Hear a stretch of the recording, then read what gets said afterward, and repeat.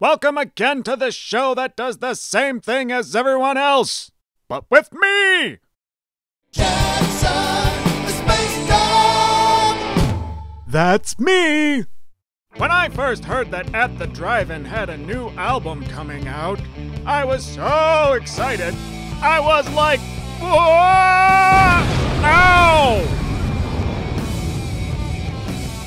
Ever since the release of Relationship of Command, I have been a huge fan and have gotten every single one of their other albums.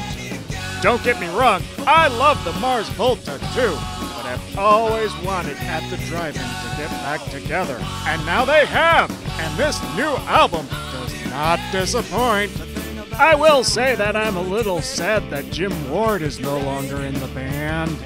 I always felt that he was an integral part of the band, and I always really liked his added vocals. But Inter Alia is exactly what you want from a new At the Drive-In album. Especially if you're a big fan of Relationship of Command or In Casino Out, like I am. The new album sounds like no time has passed since their last album. They sound just as awesome, like they never even split up. Make sure that you go out and get the new At the Drive-In album as soon as you can. Thanks again for watching! And by the way, don't forget to hit that like button. And if you like our videos, don't forget to subscribe. See you next time on